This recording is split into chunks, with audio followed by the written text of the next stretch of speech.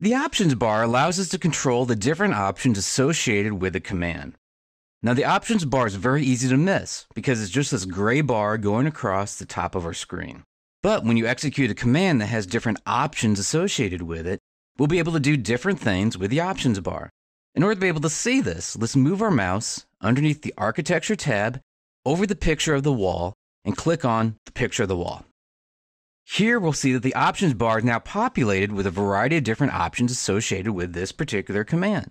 For instance, it now has a pull down menu asking us questions related to the depth or the height of our wall. There's a menu here that's going to allow us to be able to click inside of it, highlight the information, and if we wanted to type in a different height for our wall, we could do it. The options bar also allows us to be able to check or uncheck different options in order to be able to turn on and turn off different functions. So the options bar allows us to be able to change different options associated with individual commands.